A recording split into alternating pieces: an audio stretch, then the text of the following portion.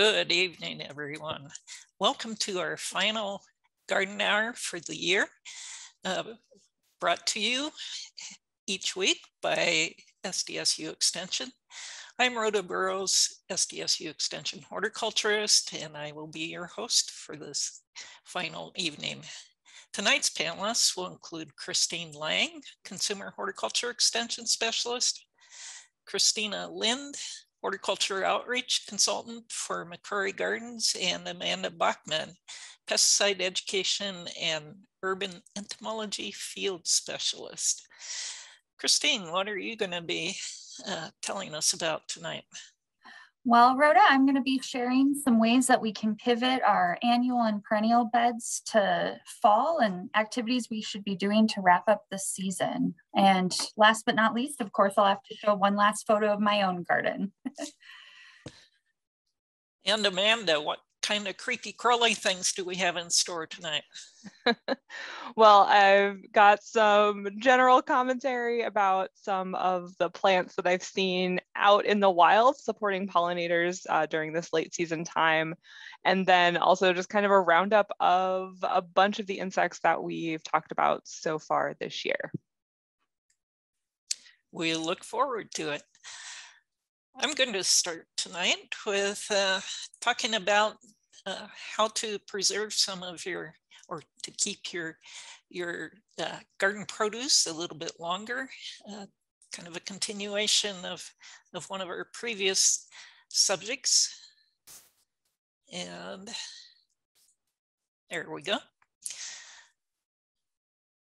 So uh, it's a time of year when people are starting to worry about frost and worrying about bringing in tomatoes to finish ripening uh, in, indoors. Um, uh, here we've already had a little bit of frost in the southeast part of the state. Um, it's 90 degrees here today, so that's kind of hard to imagine, but it will come for all of us. Uh, tomatoes will ripen off the vine as long as they've started turning that sort of lighter green color. We call that the breaker stage at which uh, if it's left long enough in the proper conditions, it can go ahead and ripen. And of course, we know that's how a lot of the store-bought tomatoes are actually harvested green and then and then ripened up. Uh, so so we can you don't all you don't have to use all your green tomatoes in, in green tomato pie or whatever it might be. Uh, you can go ahead and ripen those as well. There are a number of ways to do this. And often I have somebody say, well, I'm going to bring them in and put them in my nice sunny window.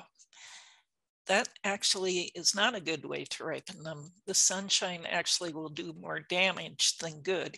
The tomato needs needs warmth and time. It does not need sunshine in order to ripen. So uh, don't worry about trying to get them into sunlight. Just find a nice, warm, dry place for them to be.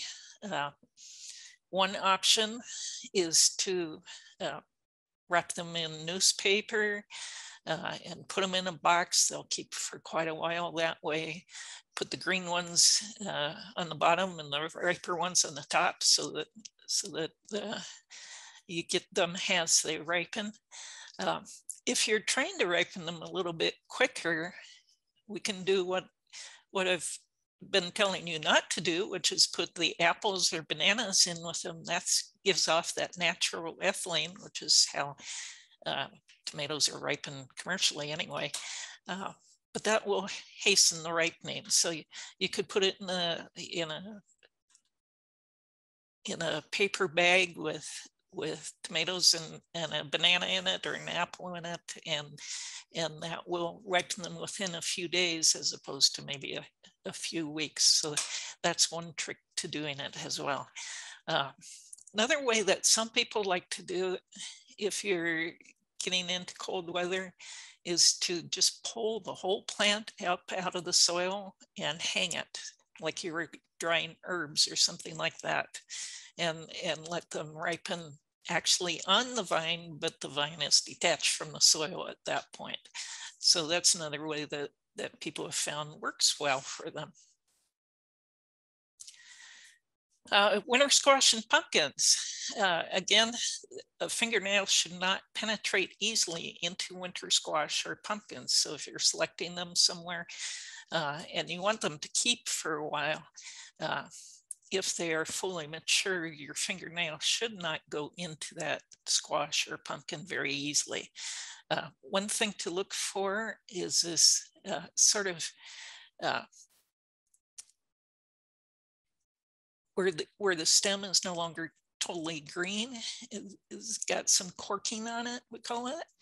Uh, that's a signal that the plant is getting ready to separate the fruit from the vine. So that's another uh, indicator of maturity. So you can kind of look for that at on some of your squash or your pumpkins.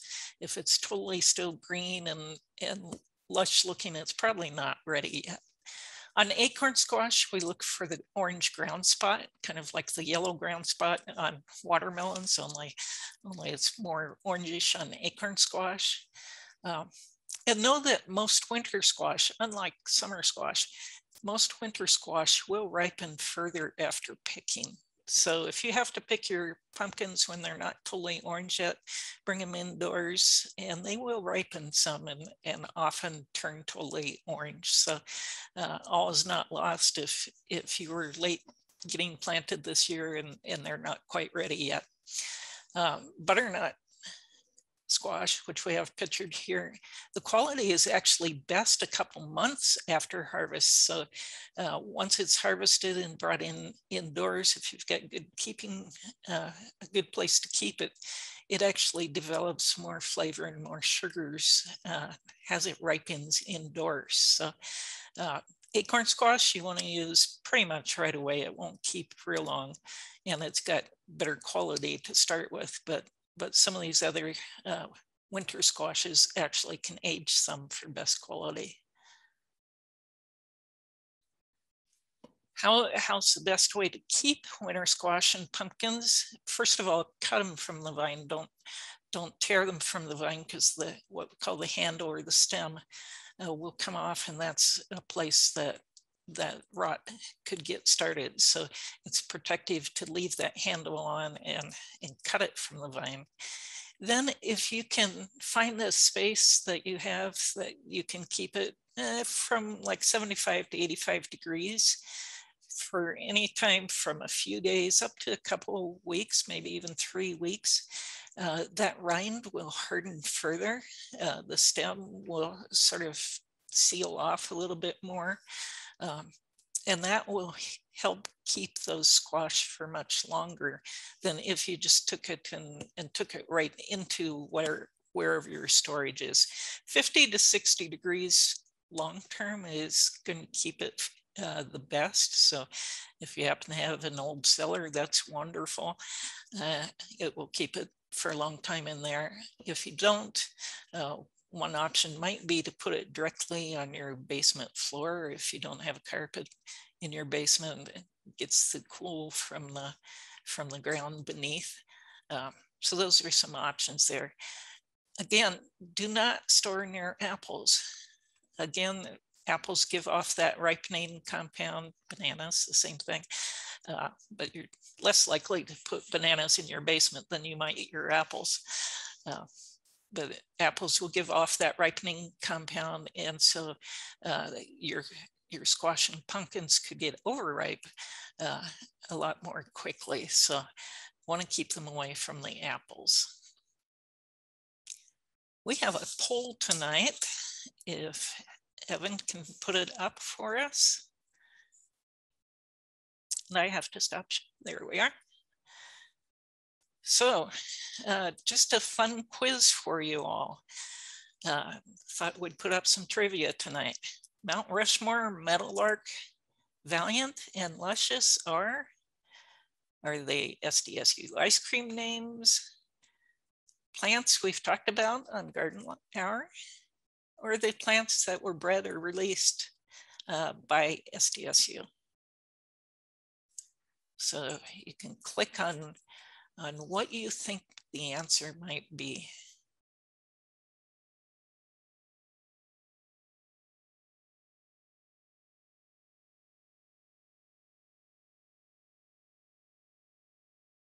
I'm just going to give them the full minute. Okay.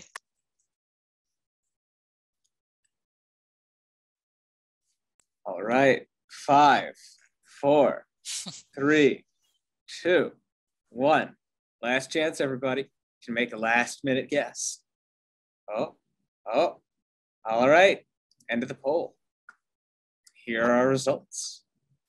Nobody bid on the ice cream game, huh?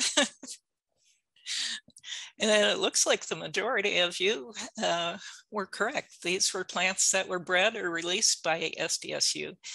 Um, I have talked about Valiant Grape, I believe, on, on Garden Hour. I'm not sure if I've talked about Luscious. That's a pear that was released by Ron Peterson.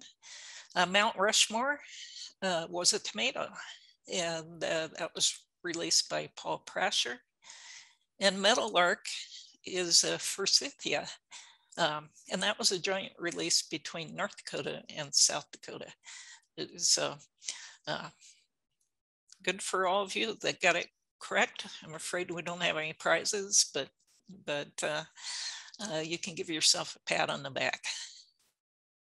You get satisfaction. That's your pride. That's right. So do we have any questions tonight yet?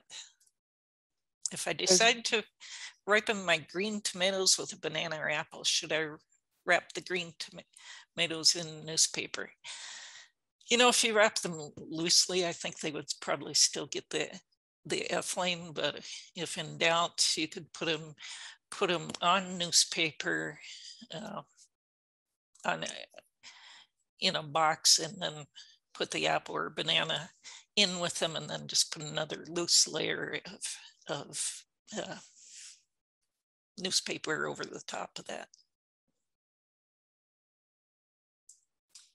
And I think that's that's it for now. Um, notice that there is a uh, link in the chat on storing pumpkins and winter squash on our website. So if you wanted further information or you didn't want to write down the information, uh, you can go to that link. With that, I think I will turn it over to Kristine. All right, good evening, everyone. First, um, for our Master Gardeners on the call, thank you so much for those of you who joined us for the 2021 Master Gardener update in Huron. It was a lot of fun. Um, we talked about everything from tomatoes. Christina talked about plant propagation, and we had a great discussion about daylilies um, from Paul Owen from North Carolina. So it was a great event, and just thanks to those of you who joined us. And for those of you that are like, that sounds fun, we would love to have you join Master Gardeners next year, and you could, you too could come to the Master Gardener update. All right. So uh, tonight I'm going to be talking about pivoting to fall. Whoops. And um, no worries. My first slide, the photo on the right, should be titled Kristine is tired of watering. Um, there are certain certain things in my raised beds that were starting to, you know, they were looking a little bit tired. I had avoided or neglected deadheading for a while and they were just looking worn out and, you know, drying up every day because the root systems are so large. And I thought, you know what? I'm going to take some things out of my annual raised beds and just move some pots around. So I, I just want to give everyone else in the room permission. If you're tired of watering things or you have annuals that are starting to decline, even though we haven't had a hard freeze yet, feel free to start taking those things out, especially um, with containers if you want to replace things with pumpkins or corn stalks or pull out some of those other cool season annuals. I know many of our garden centers, of course, you're going to see a lot of pansies being sold, a lot of beautiful ornamental kales. We saw beautiful ornamental kale from Christina Lind last week at McCrory. Um, and realizing that some of our some of our annuals are going to tolerate cooler temperatures than others. For example, in the right hand photo, I incorporated Swiss chard in my raised beds, and that's going to tolerate cooler temperatures than some of my other annuals. So I'm hoping to get a few more harvests from that this fall. And the last thing on this slide, I do have the picture of the yellow chrysanthemums. Of course, we can't walk past a grocery store or garden center or basically anywhere that sells stuff right now without seeing all sorts of beautiful chrysanthemums to bring home. And those are a great filler. You can um, certainly just set them, set them on your steps or put them in a container. You can dig them into your garden. I just want to note that a lot of the chrysanthemums we're buying, especially if it's a grab and take at our you know grocery store or something like that, there's a good chance that those aren't going to be winter hardy for our area, which isn't to say they're not a beautiful option for fall. Definitely um, enjoy all of those bright, beautiful colors, but realizing um, that you'd want to look for named varieties that list the hardiness zone if it is a chrysanthemum that you wanted to plant and keep keep over winter. And that would be something you would want to dig and get into your garden now. Um, so there's time for it to establish and realizing that especially if it's in full brilliant bloom but it is a hardy chrysanthemum it still put a lot of energy into those blooms and um, may have a, a little bit of trouble rooting in. But so pay attention to hardiness zones. The yellow chrysanthemum featured here is from the Mammoth series. I believe this is yellow quill. And it, um, the Mammoth series was developed by the University of Minnesota. So if you see Mammoth in the name, um, those are all their line and those are nice and hardy. And this was a photo I took from McCrory Gardens a few weeks ago. So they were all ready looking lovely. So, all right, the next slide.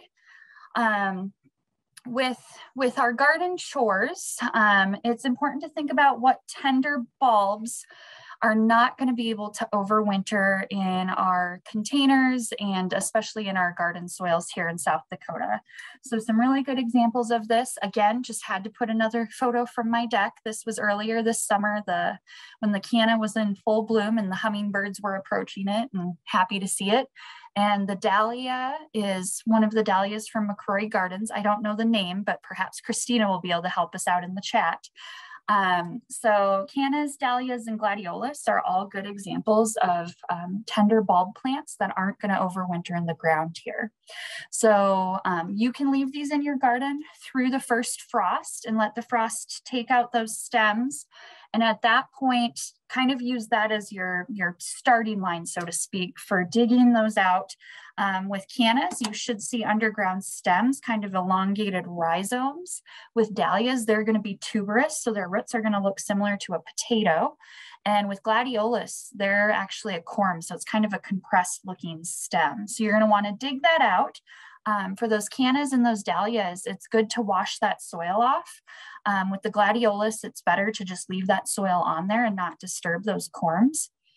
And for all of these, um, it's recommended to use a curing process. So let those rhizomes and tubers sit out for about three days at 60 to 70 degrees so that the skin kind of dries off and um, hardens on the outside. And with those corms, it's actually recommended to let them dry for about three weeks. And remember, we haven't knocked that soil off. So after it's dried for those three weeks, you can knock that soil off. And then all of these can be stored. You wanna find a cool, dry area between 40 and 50 degrees is recommended. Um, for example, you could put them in garden flats or some sort of an open container, kind of nest them in some um, maybe lightly moistened peat moss. You don't want things to stay wet and you, I would not recommend putting these in a sealed container where um, there's a chance that excessive moisture could build up and you could have issues with rotting. And these can all be planted out in the spring when the soils start to warm. So um, my canna that's in my container, I'm gonna go ahead and overwinter that and hopefully I'll have a picture of how it looks in the spring. All right, we're gonna stick with the theme of garden cleanup. So next slide, Rhoda. Tomorrow, actually, um, we, we, I say myself and some of our wonderful horticulture students here in Brookings at SDSU, we're going to be heading out to McCrory Gardens and we're going to be working with, um, with the garden plot that you see on the left. So again, I said I'm kind of sick of watering, but again, based on how big your gardens are and how much you have to do, it is the time to start thinking about what annuals you might want to be taking out of the garden. And the students are going to be helping me tomorrow. This was the All American Selections trial garden. We've collected all of the data and had all the information we need. And as you can see, these zinnias, um, you maybe can't tell very well, but they should have looked a much a lot uh, darker green. And the reason their color is so muted partly is because of powdery mildew. So we're gonna get all of that foliage and all of that root and plant material out of there so that there isn't any, um, so that there's a lower chance of powdery mildew being carried over um, to that site next year. And then not included in the photo, but a little further to the right were all of the sunflowers. Now I've noticed when I've been out there um, that the birds have been enjoying and picking at those seeds. So one thing to think about with your annual gardens you know, before you start taking all of your plants out and, you know, composting or discarding that material, um, if there is still, if you're noticing that the birds are really using it, or you still have annuals that are in bloom um, that pollinators are visiting, and I'm sure Amanda will speak to this as well, but if you have things that are in bloom and look beautiful and you can leave them in the garden for as long as possible to help out our insect and bird friends, please do so. Um, but for example, with these zinnias, they're they're done blooming. They've had powdery mildew. We're going to be taking those out of the garden. And those same lessons really translate um, to a perennial cleanup as well. Um, if you want to start trimming back perennials that are done blooming and the foliage is already dying back, um, I'm thinking about hostas this year. We I've seen a lot of photos of sun scorch, um, leaf scorch on hostas. If you've got hostas that are looking really tough and you want to start trimming them back, um, I would say it's safe to do so. If the plant has still got a lot of green tissue, um, it is nice to wait until the first frost to let those plants photosynthesize as much as possible because that allows them to store up more sugars for the winter, which um, helps with those robust root systems and for overwintering. Um, so feel free with perennials to wait till the frost. And then it's always the question of, do I cut everything back to the ground? Do I leave some things over winter? What should I do? And in true extension fashion, it depends. Um, you know, with beautiful ornamental grasses that have a lot of winter interest, feel free to leave those standing. The rudbeckia and echinacea that you see here um, on the photo on the right, um, they have interesting seed heads. Those are gonna be dried stems. Again, the birds might peck at it and there again is some winter interest. So that might be something you choose to leave in your garden versus I'm going to pick on sedums. When they get hit with, once they freeze out and start to die back, that tissue is going to really kind of become mushy and just kind of cave in on itself. So that's a good example of something that you could pull out for the season. Um, if you've had perennials that have given you some trouble with overwintering in the past, don't be afraid to leave that foliage as just a little bit of um, extra mulch, if you will. It will catch other leaves and debris and snowfall and just provide a little bit of extra cover. And you can come back in the spring and clip that down to the ground. But some of it is, you know, timing your garden chores and thinking about how much you have to do. Um, another advantage of leaving some stems and some foliage is you'll create habitat for insects, which I'll have, I'll ask Amanda to speak to a little bit more in our Q&A time. Um, and the only other thing I was going to say about perennial garden cleanup is if you have plants, again, let's, I'm going to pick on phlox. If you've had phlox, for example, that's had a lot of powdery mildew, I would recommend getting, um, getting that trimmed back as close to the ground this fall again, so, pow- so there's less um, powdery mildew spores that are in overwintering structures that give you problems next spring. So pay attention if you have diseased plants. I would definitely remove, um, remove that foliage down to the ground this fall if at all possible. And with that, um, for my last slide, uh, we've already indicated that tonight is our last garden hour for the season. And we just, you know, I just want to personally thank you for for joining us week over week, and it's been fun seeing you and seeing you virtually when I've been on the show. And I want to let you know that um, if you're looking for more fall gardening information from from this group, we are going to run the yard and garden news or garden and yard newsletter. We're going to have a release of the newsletter on October 5th and uh, October 19th. So we will have two more fall issues and you can always find all of our extension articles on the garden and yard page of extension.sdstate.edu. So feel free to look for that information there. And, you know, we look forward to hearing from you and we look forward to seeing all of you at some some winter programming. We'll we'll definitely be releasing some things. So stay tuned for news on that. Thank you, Kristine. We do have one question. Uh, is it too late to divide iris?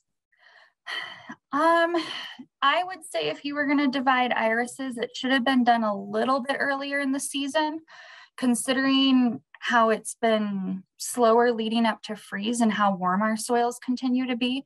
You could definitely give it a shot. Um, but we're kind of getting past that window of optimum. Yes, I would definitely go out and divide those irises. So if you feel like you can wait till next year, that would not hurt.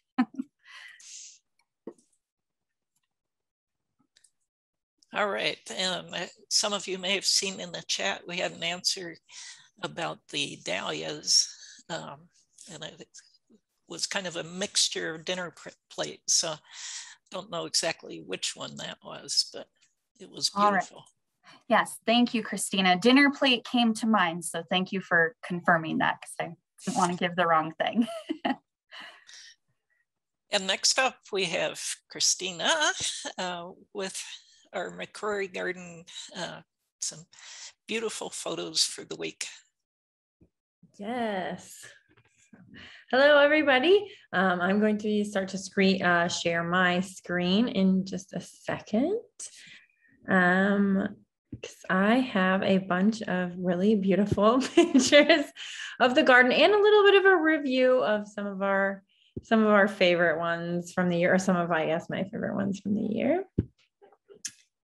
So let's here we go and start slideshow. So right here to start with, um, these are just some things that I noticed out today. We were doing a doing a fun um, floral arranging workshop in the gardens. Um, so I definitely keep your eyes out for that because they're gonna be doing another one. Um, a friend of mine, really talented floral arranger, um, Liz AD, with her um, new floral arranging business, um, is going to be leading a going to be leading a workshop on floral arranging in the gardens, and we just did one today as well. And the next one is going to be October 10th. So for our fall festival. So watch McCrory Gardens website and social media and everything about their fall festival. It's going to be a lot of really fun stuff. I think it's dog days and food trucks and um, the floral arranging and free admission and uh, just um, gosh i know i'm forgetting things but definitely check it out because there's a lot of a lot of things going on for that for that fall festival um, but during these floral arranging workshops, it's really fun because we get to walk around the gardens and harvest, um, kind of use McCrory Gardens as your um, source of material for your arrangement. And um, so you can come up with some really, really beautiful things where we um, snip from the gardens themselves. So keep an eye out for that. So I we were out there today and I got some photos of some really beautiful things like this American hazelnut. I love the hazelnuts and they just get this really lovely color. Plus, if you can beat the squirrels to the hazelnuts, then you have that treat as well. So, um, that's one of my favorites to look out for in the gardens. Just this is just kind of a showstopper that every time the castor beans, every you know, this is. I mean, there's probably actually even bigger ones out there. That's again my daughter for the size comparing comparison, but it's um, she's again about four feet tall. So that's probably eight feet tall, at least that plant. And you can see how big just one leaf is. It looks like a dinosaur plant, or it reminds me if anybody's ever seen the um, land before time the like star flower anyway it is the seeds are poisonous but you, you um they're not really something that looks like anything you'd want to eat so it generally is not going to be a problem for you. Um, and it does have a really hard shell as well that would have to be perforated for it to be any danger. But it's got actually a really cool seed. You can kind of see it, it's spiky and funky. But so that's the castor beans. The and pagoda dogwoods.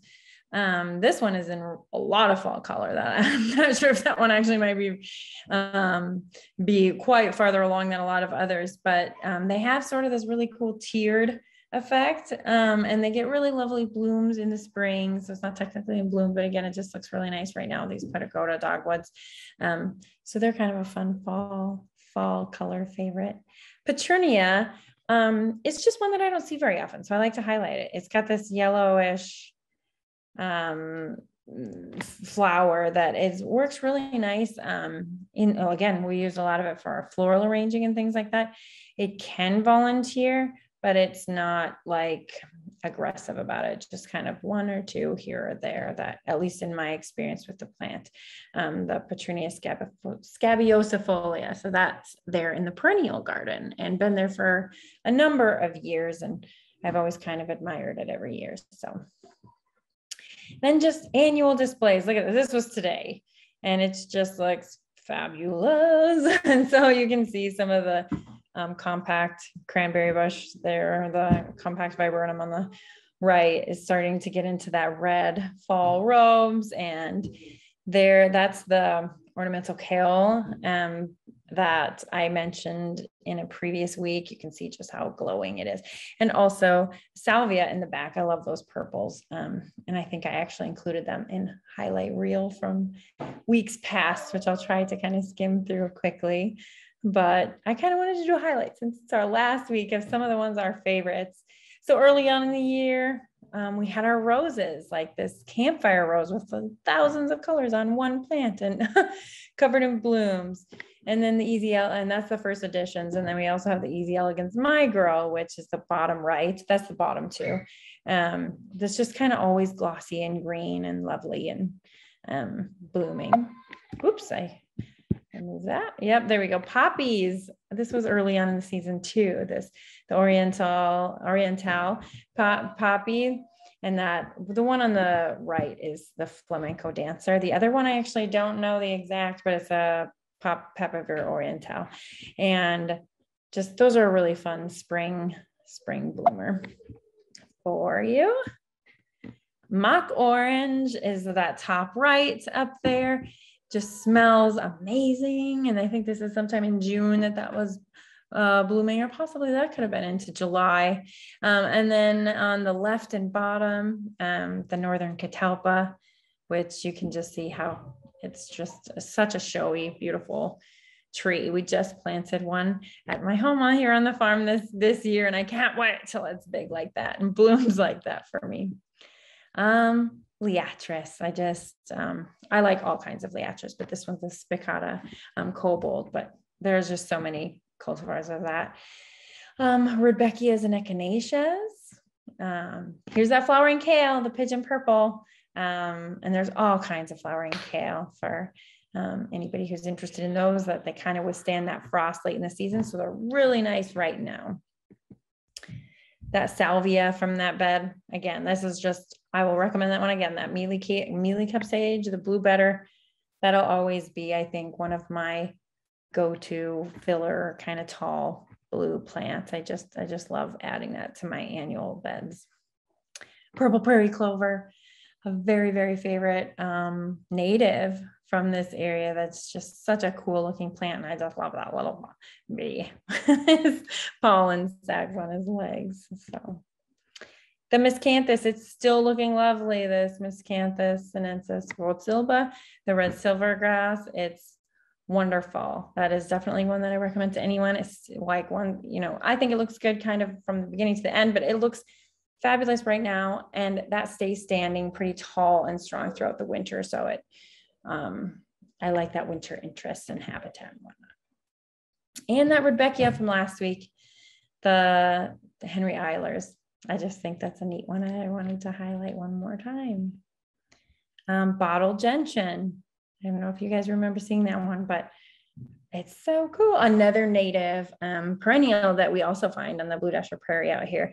That it's it's a little bit more shrubby, especially this year in the dry year, but such a cool, such a cool native perennial. And as you can see, it grows successfully in a well-maintained garden. Some of those natives I find that almost have a hard time in a really rich, maintained soil, but this one does fabulous in that kind of environment. So yeah, those are my highlights.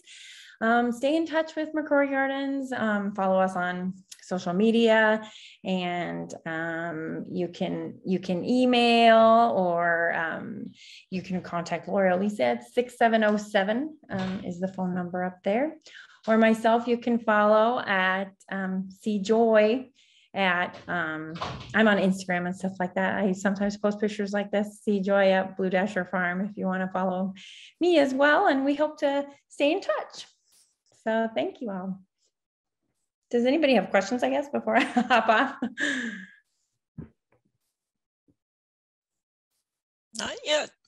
Okay, well, very good. I'll stay on for a little bit. And if I miss any, um, I will check my email. They have my email as well. If um, I can share to anybody that wants to contact me, I'll just write it in the chat so you can contact me with any questions. So email and Instagram so you can contact me if needed. Otherwise, thank you. All right. I'll stop my share here. Here we go. All right. Okay. Thank you. Uh, we're going to miss seeing the, the weekly flowers from McCrory, or at least I know I will.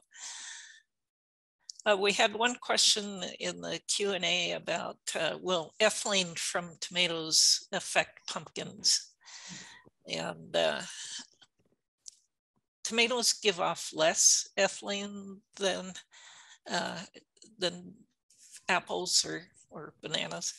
Um, they will give off a little bit, so it's probably best not to put them you know, in the same box, but it should be okay if they're separated by a few feet or so.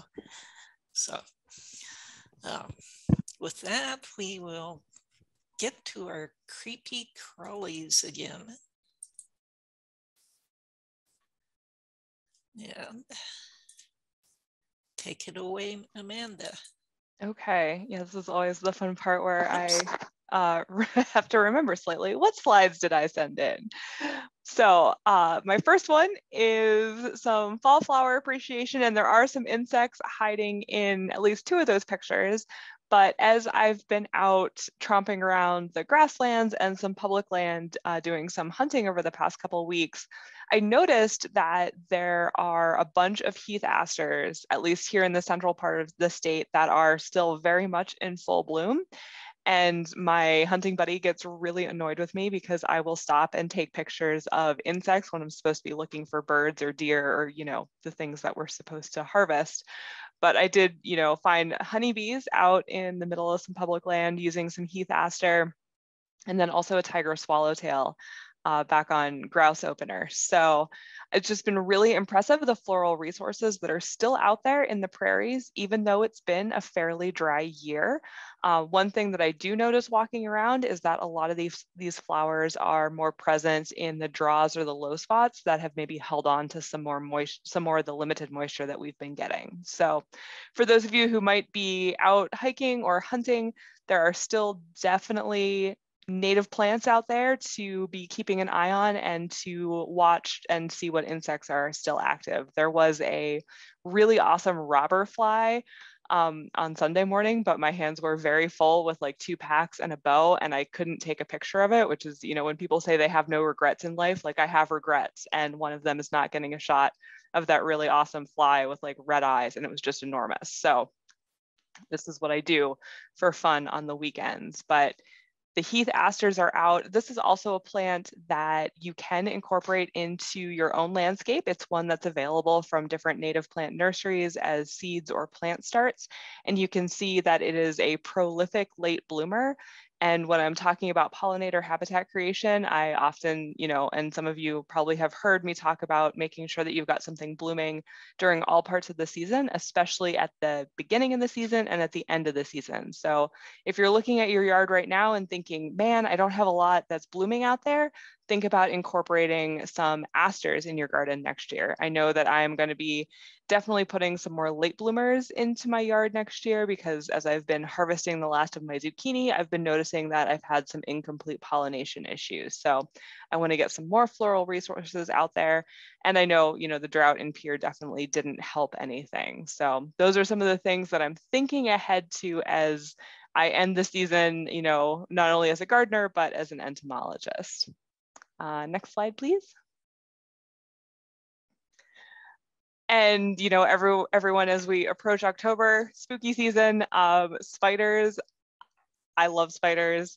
I have gotten way more cool with spiders um, the longer I've been working with arthropods. Um, when I was in grad school, I had a roommate who was super cool with spiders. I was not quite to her level yet.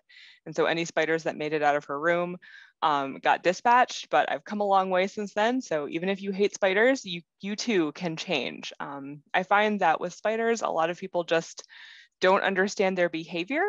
Um, and so on the bottom right, there's a wolf spider hanging out there on some wheat stubble. Um, and so this is one that I found out in the wild. It was nowhere near a human structure. We were by a sunflower field. So you can see it's actually pretty well camouflaged um, into its, you know, kind of natural environment. But these wolf spiders and these other large uh, grass spiders really do want to be outside. Um, we do, you know, see them this time of year kind of ending up indoors, either by accident or because they think that maybe they'll find a place to overwinter. I find that these spiders were always above what I considered to be my squishability threshold. If something was big enough that it was going to make a mess if I squished it, I would definitely relocate it to the outdoors. Um, I use the you know inverted container or glass method, sliding that piece of paper underneath and um, scoot it to the outdoors. So if you're seeing wolf spiders in your house, first step is figuring out where they might be getting in. And second step is to just, you know, kindly relocate them. Um, you can see I've got a funnel web spider there in the middle picture, and this is by my back door. Um, it's creating its own little Halloween decoration for me, but it's also having a great time eating like all of the red sunflower uh, weevils that get stuck in it and just some little flies and mosquitoes still. I've, I've seen it like come out, you know, grab something out of its web and then run back down into its funnel. So they do a great job of you know catching some of those smaller insects that we might consider to be a nuisance or like mosquitoes things that we might consider to be harmful. So um, if you can start to get cool with um, you know some of the spiders living outside doing their thing um, that will go a long way towards supporting a diverse backyard habitat. Um, and then of course on the left there i have my artsy spider shot. It's another one from hunting. Um, i will be you know doing things. I should be looking for deer. And instead I see this like really cool spider silhouetted against the sunset. And if you look carefully um, towards the top of the image, you can actually see like there's an aphid stuck in its web. um, so I just have, I enjoy spending time outdoors and, you know, being able, you know, not only to you know look for insects you know sort of while i'm you know killing time waiting for larger critters uh, can really really be fun for me. Um, not so much for my hunting buddies. They think i'm a little bit weird. But spiders you know they can be beautiful. Um, so they they don't have to be just sort of you know creepy crawly halloween decoration um, but they do provide a really important ecosystem service. And, you know, if you're if you're looking sort of for a project or you're like, oh, you know, I'm, I'm cool with insects, like what else is there? I would really recommend uh, learning more about spiders. And my final slide oh, we've got a poll. Oh, right. so the, the poll question that I sort of uh, submitted via email happened just the true or false. Uh, we have murder hornets in South Dakota. That was possibly um, one of my most frequently asked questions this summer. I would get a lot of samples and the subject line um, would would be is this a murder hornet or you know that would be what was in the voicemail so for the 15 of you that are still online, if you want to go ahead and answer the poll. And um, Evan, when we've hit a minute or critical mass, we can go ahead and see the results. All right then. we'll, we'll see how many folks have been uh, have been on the same weeks that I've been on Garden Hour.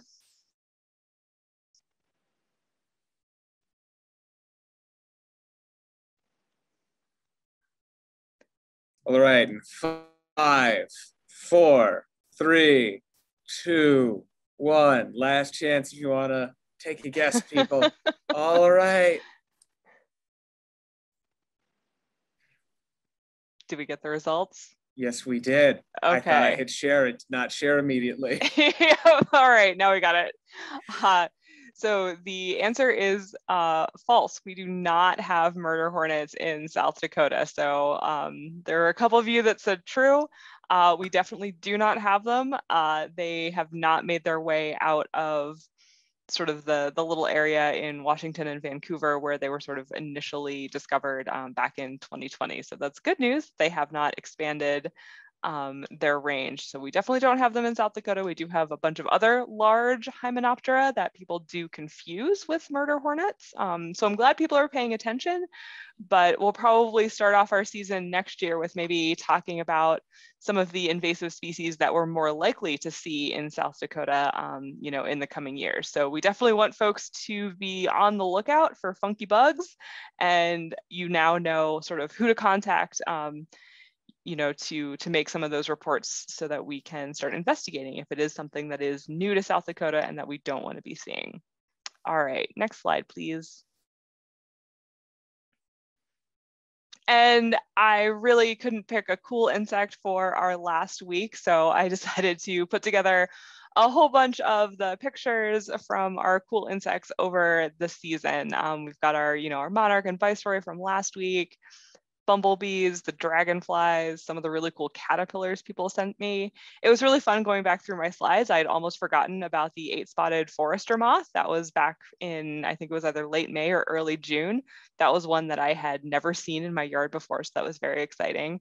And then of course, um, the face bug with the periodical cicada. I gotta say brood 10 cicada experience was one of the highlights of my 2021. And it was really fun just sort of scrolling back through my pictures of those cicadas and just remembering how absolutely phenomenal that experience was. Um, and then in the bottom right there, we've got our cicada killer, which is not a murder hornet. Um, I've had quite a few of those in my backyard this year. And I did just notice sort of a couple weeks ago that the cicadas, you know, have finally stopped. Um, so even though it was unseasonably warm here, in Pierre sort of over the weekend and today, you know, a lot of our true summer insects have ended their season and we are definitely moving into fall. So we'll go ahead and, oh, my caterpillar, that was the leafy spurge hawk moth.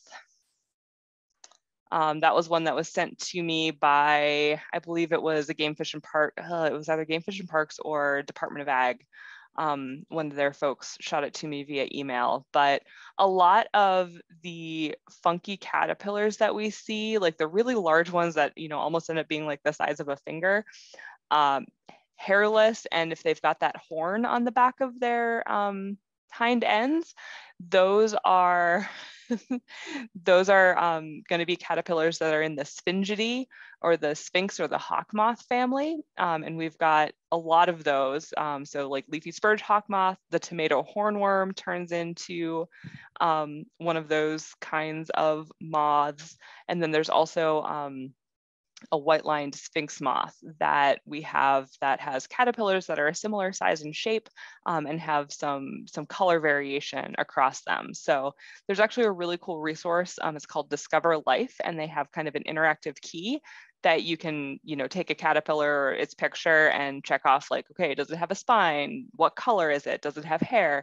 And it'll help you kind of narrow down what caterpillar you have. So Caterpillar ID, I use that a ton um, because there just are so many and sometimes you don't always see them. But yep, leafy spurge, hawk moth. So yeah, so it's been really kind of, it's been fun to go through sort of all the insects that I've been seeing week to week and find things to share with you folks. So hopefully um, for those of you who have been with us throughout the season that you've seen some things to get curious about or maybe appreciate a little bit more. Um, and I hope that as you sort of close out your garden season and start looking towards next year that you maybe like insects a little bit more than you did when you started your garden hour journey. So thanks for being here this year. Um, oh, yep, I see the question from Kathy. She found one and that was your ID. So awesome, yay. good, good job there. Um, but yeah, I will turn things back over to Rhoda so we can close out our final garden hour of the season.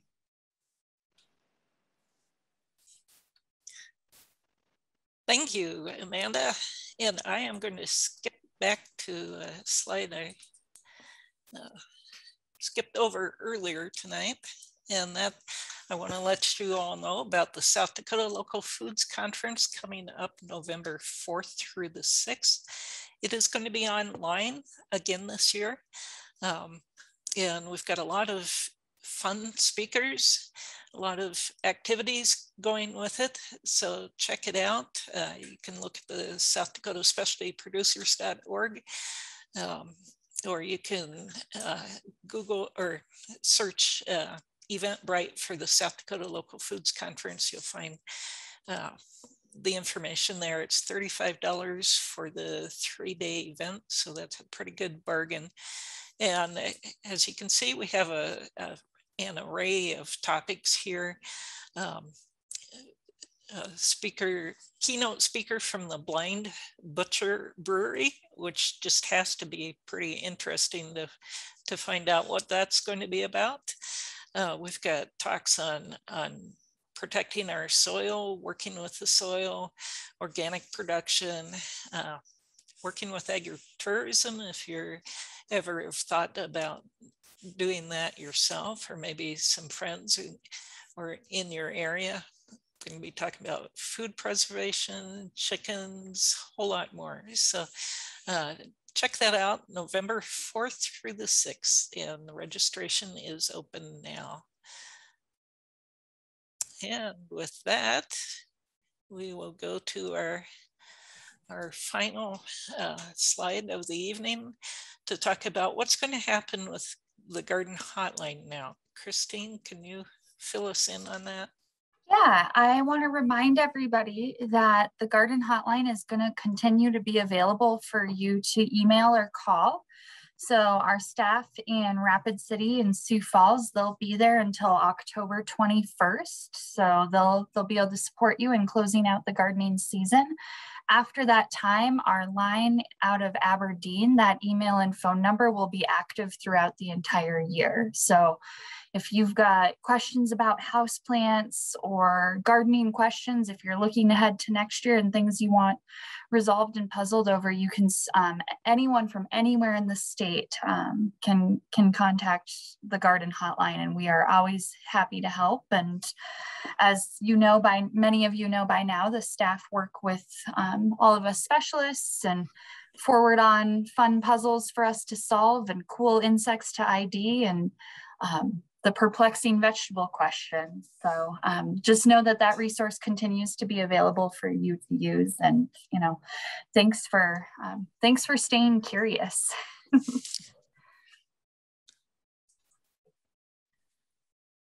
and with that, uh, we'll wrap up our 2021 uh, Garden Hour series.